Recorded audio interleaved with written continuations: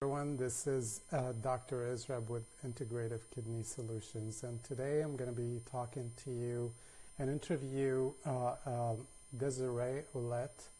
Desiree is um, well known in our community here locally, and uh, she has been pioneer in uh, yoga um, practices in our community. So um, she will be joining us shortly, and uh, I will add her to this uh, interview. Um, we're going to talk mainly about how yoga and uh, meditation can help patients with uh, kidney disease and uh, maintain kidney health. So uh, that's exciting and a prospect that not a lot of people know. So um, hopefully she will be able to shed some light into this um, soon and um, and and uh, explain to you uh, why yoga and meditation is important for um, you know your health in general and for uh, the health of patients with kidney disease. So uh, uh, Desiree uh, actually um, been very active in our community and pioneered yoga, as I mentioned, um, and she. Uh, had a practice called Holos Yoga that I believe she ended up uh, uh, selling, um, and now she has uh, yoga retreat um, that she goes all throughout the world and travels to cool places actually. So um, she has uh, uh, been doing yoga for several years, and and we are going to have her join us now. So. Um,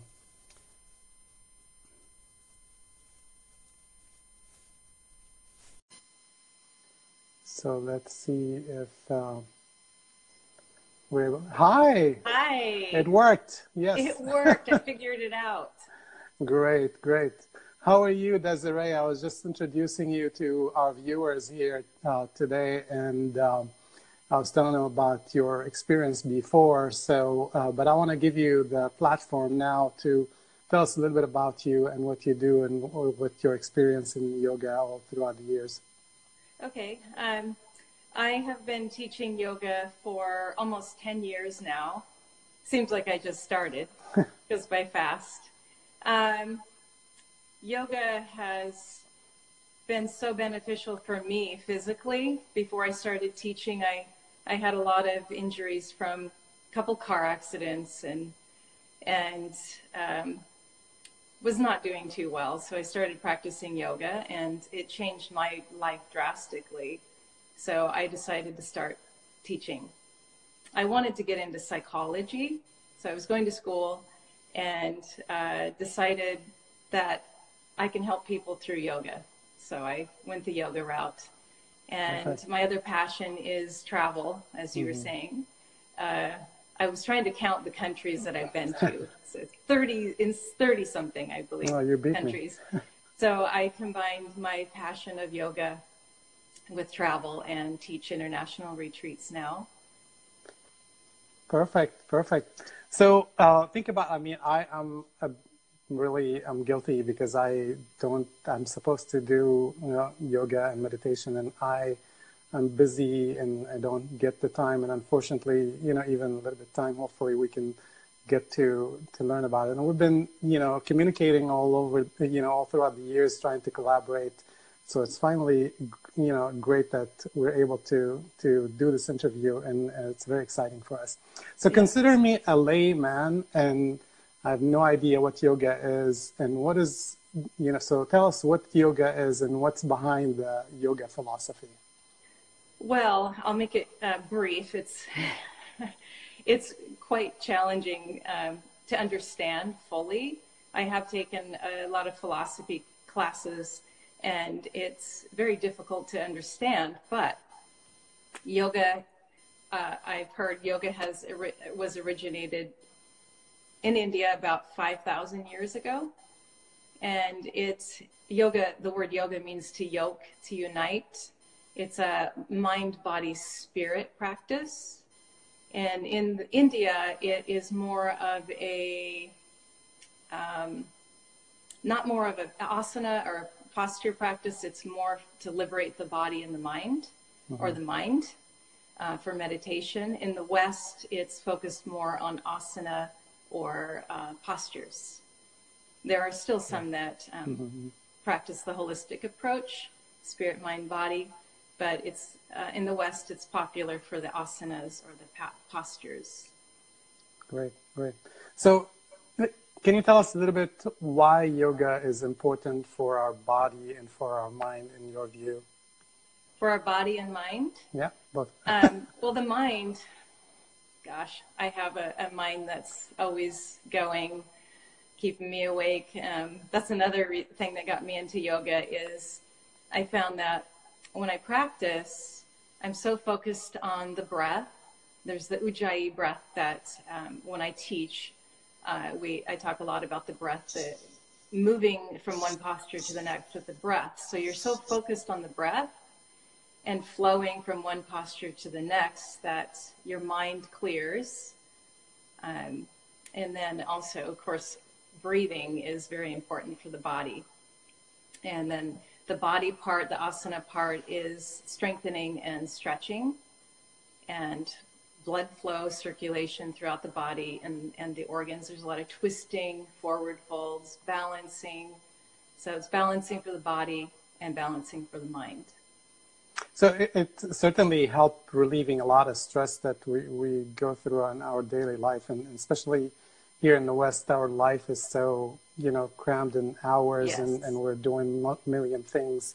So uh, you know, I know you you've done some research on this too, and there are some research that tell, you know, and this is where I come from is is that there are research that says that yoga and meditation and breathing techniques can help with, you know, like risk factors that are actually associated with kidney disease. So, you know, I know blood pressure is one of those and, and diabetes. So can you tell us a little bit about how yoga can affect, you know, blood pressure and, and help patients with, with elevated blood pressure? Well, um, from what I've read is, is uh, by lowering stress levels, it can help lower blood pressure also. That's um, the main thing is um, stress. And I can give an example with my husband. Mm-hmm. He, uh, a few years ago, he went to the doctor. He had really high blood pressure, high cholesterol, um, hypo, hypothyroid, and he, the doctor said he needed to go on medication. So he said, "Give me three months with yoga and diet." And he went to yoga th- four to five days a week, changed his diet, healthier eating, and went back and had all of his labs done, and they all were normal. So he's oh, wow. he's a good example. I like yeah, to use that yeah, him as yeah, an example. Yeah. so. Um, yeah, I mean for for our stress levels. What's that? No, go ahead. Go ahead. No, you go ahead. I, I, was just going to say that actually, for people who don't know, there are actually 49 controlled trials that looked at uh, blood pressure and its effect uh, and yoga and its effect on blood pressure. And and there are data that actually breathing techniques, um, not particularly the the the uh, asana thing that you mentioned, the, the body postures, but the meditation part of it decrease stress and and there are data that it can lower blood pressure by 11 uh, you know over six. The systolic blood pressure can drop by 11 uh, points. And this is really amazing. I mean like the, if there's a drug that can lower the blood blood pressure by that much, you'll see ads on TV all over the news. yes. You know, so so it, it's purely amazing uh, things, and, and people don't know this, and this is so we're excited that you're you're talking to us about that. The, yeah. So how, how does it also affect? Do you have any idea about uh, data about how it works with with diabetes control? Do, do you have another example? You know. I hope your husband doesn't have. Well, he was um, he was told he was pre-diabetic. Oh wow. Yeah, so um, all of his uh, blood levels, lab labs were normal after practicing consistently and changing his diet. Um, with diabetes, you know, yoga is known for helping lower stress levels, cortisol, mm-hmm, mm-hmm. Um, the stress hormone, and by reducing that and with yoga, the asanas, and the breathing techniques, the pranayamas. Um, and of course, yoga makes you more aware of your eating habits. Mm-hmm. And so if you're eating healthier and taking care of your body and your mind, that can help lower the stress levels, the cortisol levels, the diabetes, um, you know, especially if you're pre-diabetic. Yeah.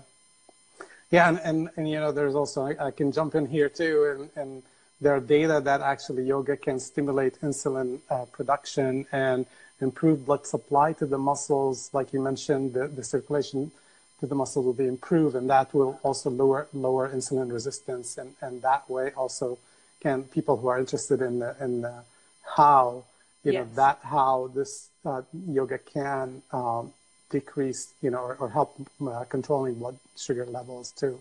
So yeah, I mean, great examples. And and again, I mean, I'm not talking, and you're not talking about, you know, just our experiences. These are proven data in the literature, publishable, published and uh, and proven. So so we're not coming up with with just um, you know things that we're we're we're making up here.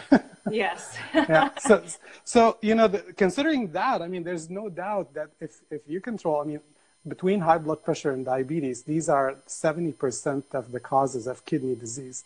So there is no doubt that, you know, you know, yoga and, and meditation can help, you know, c- you know, help uh, controlling, uh, lowering the progression, decreasing the progression of kidney disease and help maintaining kidney health. The, the, are you aware of like studies that looked at yoga and, and and meditation and, and, and, and specifically looking at kidney disease? Um, I was just uh, reading one last night. I'm terrible at quoting like studies. I'm a yoga teacher, uh, not a doctor. I'll jump in here.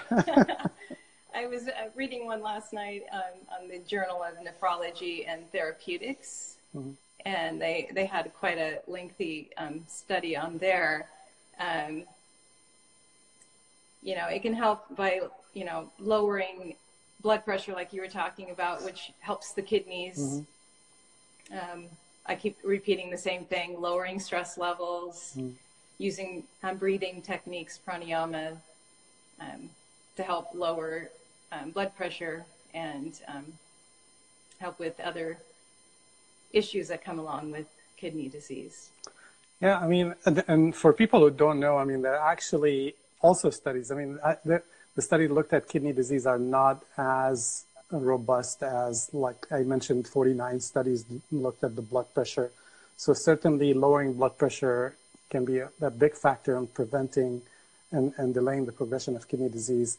But uh, there, there are studies that looked at, you know, the waste product that, you know, we're talking about BUN and creatinine that we measure kidney function from, that yoga led to a significant reduction in the BUN and creatinine in addition to, uh, to its effect on the blood pressure control, as I mentioned. So, so yeah, I mean, actually, you know, people who are on dialysis, you know, and we, th- we think of those that, you know, it's over, it's done, but even those, they can benefit from yoga and, and meditation and, and help them, uh, you know, have better quality of life. Actually, specifically, this quality of life issue is, is a major issue for kidney disease patients yes. uh, psychologically and physically. So, so yeah, I, I, I totally agree with you on that. Mm-hmm.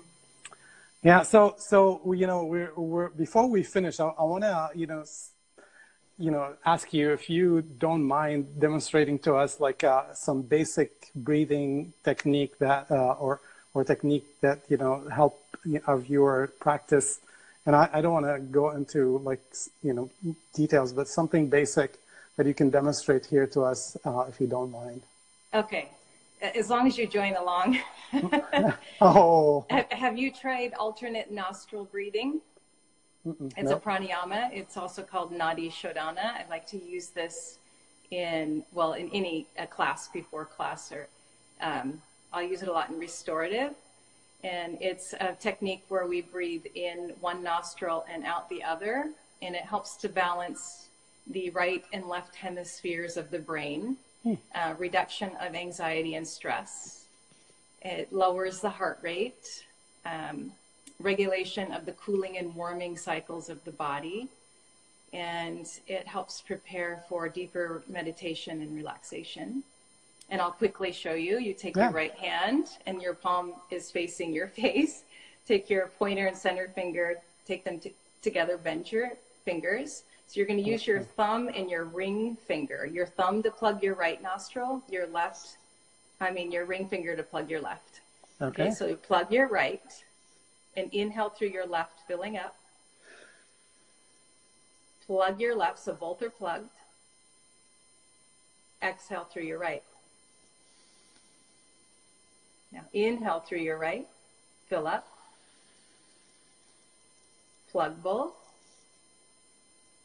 Exhale through your left. And then inhale, fill up, last one. Plug both. Exhale through your right. And go ahead and release. So you can I do that another five, yeah, another five to ten times. Do that with your eyes closed. Do it slow, filling up. You can count. Start with a count to five, Five. five breaths in, and then exhale, and then build up, um, maybe to ten breaths. That's great. So, and maximum, any maximum on, on this technique particularly, like 10 breath is, is max, you think? I don't know if I've ever heard. Uh, I'm sure there's a maximum, but Okay. pro- probably probably ten. I, I, Okay. I do. Yeah, I think, I think I'll get also more relaxed when I get rid of my pager, but, Yes. yeah. but th- that, that will help definitely. Uh, so I'll, I'll, start practicing this. Um, and for our viewers, you can start practicing these at home. Um, also, so really it's important to, we're not making this up. This is stuff that are in the literature. Yoga and meditation, breathing techniques can help you uh, lower your stress level, lower your cortisol level, improve insulin level, and, and decrease uh, resistance, um, insulin resistance in the tissue, and help uh, keeping your, your body healthy, your mind healthy, your kidneys healthy. Uh, this is where I come along. So, um, and you know, I, I really want to thank you so much, Desiree, for joining us today. I, uh, I you know, Thank I, I'm. I'm so blessed that we, we finally got to to to do this. Uh, I want to give you a few moments to put a plug for your business because I know you you uh, you do a lot of things. So go ahead and and tell our, our uh, viewers what uh, what you do. Well, thank and- you. Yeah, yeah.